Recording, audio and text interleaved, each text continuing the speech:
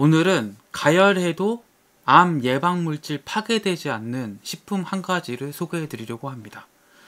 우리나라 사람들이 굉장히 많이 먹고 즐겨 먹고 저도 굉장히 많이 먹는 식품 중 하나인데 보통 이제 항암 식품 하면은 이제 열에 가했을 경우에 이게 이제 영양 성분들이 항암 성분들이 파괴돼서 이제 문제가 되는 경우가 많은데 오늘 제가 소개시켜 드리는 이 식품은 열에 가열에도 항암 성분이 파괴되지 않습니다. 그렇기 때문에 안심하고 충분히 조리하셔서 드셔도 아무 문제가 없는 항암 효과를 온전히 다 누릴 수 있는 그런 식품을 하나 소개해 드리도록 하겠습니다. 참고 도서는요. 암도 막고 병도 막는 항산화 밥상이라는 책입니다. 오늘 제가 소개해 드릴 식품은 바로 양파입니다. 양파. 양파는 굉장히 우리가 많이 먹는 식품 중 하나죠. 저도 뭐 중국집 같은 데 가서 춘장인가요? 그 찍어서 먹으면 굉장히 좋아하고 평상시에 집에서도 뭐 고추장을 찍어서 생양파를 먹곤 합니다. 이 양파가 굉장히 좋은 항암 식품인데요. 이 양파에는 함황 화합물과 케르세틴이 들어있기 때문입니다. 이 양파를 비롯한 팥 속 식물들은 위암의 발생 위험을 낮춘다는 연구 결과들이 나오고 있는데요. 이 양파에 들어있는 암 예방 물질 두 가지를 좀 더 구체적으로 소개해 드리도록 하겠습니다. 먼저 함황 화합물입니다. 어, 이거는 들어보셨죠? 마늘에도 들어있는 겁니다. 그래서 마늘과 마찬가지로 썰거나 다져서 양파의 세포가 파괴될 때 휘발성 성분이 나오게 되는데 이게 황암 화합물입니다. 양파를 먹을 때는 뭔가 통양파를 먹는 것보다는 썰어서 먹었을 때 뭔가 공기면과 접촉을 많이 늘려줄수록 이게 더 극대화가 되거든요. 그래서 이렇게 좀 썰어서 잘게 썰어서 뭐 다져서 드시면 제일 좋고요. 두 번째 성분은 케르세틴입니다. 케르세틴. 케르세틴은 양파에 풍부하며 강한 항산화력을 가지는 이제 성분인데요. 체내에서 암 발생을 억제하는 것으로 알려졌습니다.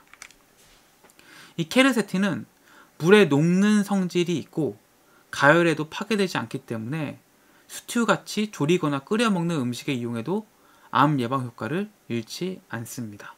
그래서 양파의 이런 성분 때문에 뭐 제가 이제 인터뷰했던 어떤 선생님들은 양파차, 양파를 이제 어떻게 보면 좀 썰어가지고 물에 넣어서 넣어두고 양파의 그 성분들이 물에 우러 나오도록 한 다음에 그 물을 수시로 마셔라. 뭐 이렇게 말씀하신 분도 있었거든요. 이게 다 이제 뭐 케르세틴 같은 경우에 물에 그 성분들이 녹아져 나오기 때문에 그런 효과를 볼 수 있게 되는 겁니다. 그러면 양파, 암 예방 효과를 높이는 조리법은 어떻게 하면 될까요? 양파는 세포가 파괴될 때 유효 성분이 생성되므로 다지거나 강판에 갈아서 사용하면 좋습니다. 얇게 썬 것은 식초를 뿌려주면 좋고요.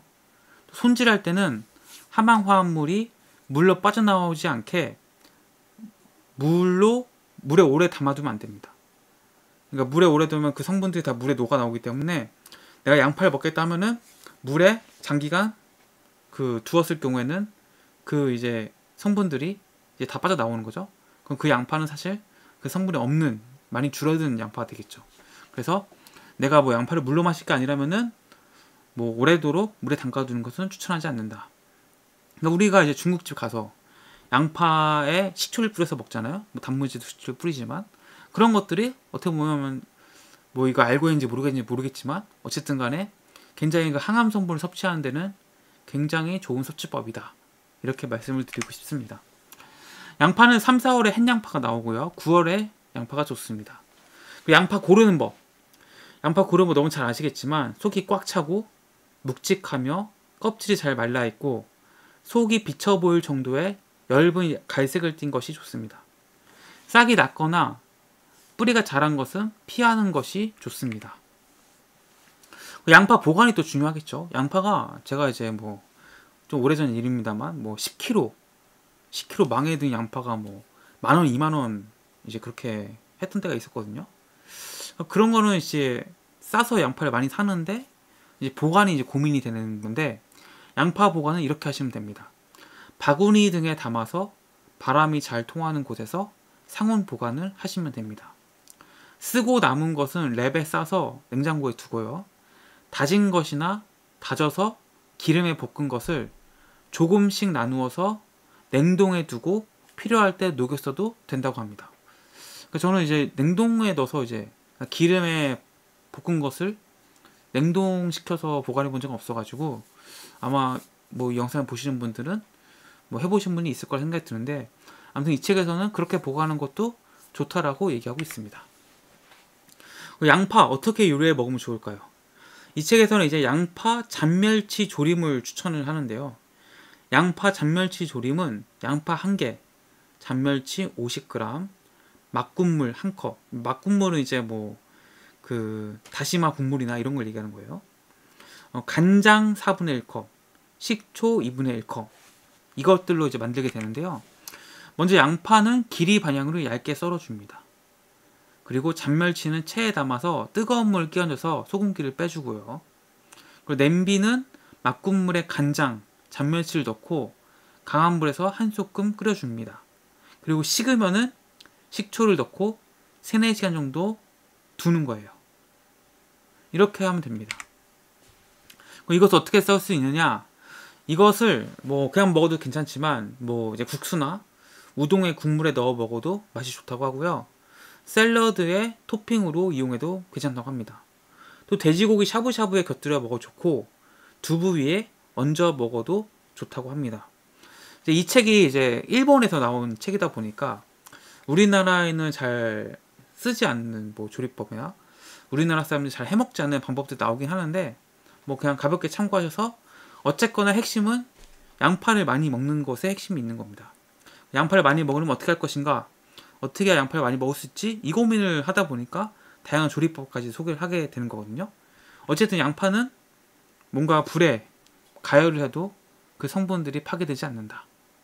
그래서 양파는 안심하시고 뭐 양파 볶음이나 양파찜 뭐 이렇게 드셔도 뭐 큰 무리 없이 양파에 좋은 항암 성분들을 충분히 섭취할 수 있을 것을 보입니다. 그래서 양파의 함한, 함황 화합물과 크리세틴 이 두 가지 성분을 명심하시고 어 어찌됐든 간에 많이 먹으면 좋은 거예요. 뭐 큰 부작용이 있는 식품도 아니기 때문에 어 가급적이면은 항상 밥상에 꺼내놓고 생양파를 최대한 뭐 잘게 작게 썰어가지고 공기면에 노출물 많이 시키시고 그럴수록 이제 활성화가 되거든요. 그렇게 해서 뭐 고추장을 찍어 드시든 뭐 춘장을 찍어 드시든 뭐 아니면 뭐 생선찜 같은 거 드실 때 그 양파를 뭐 고등어찜 같은 거 먹을 때 양념에 양파를 얻는 경우 많잖아요. 그런 식으로 최대 양파를 많이 드시면은 암을 이기는데 좋은 도움을 많이 받을 수 있을 것이라 생각이 됩니다.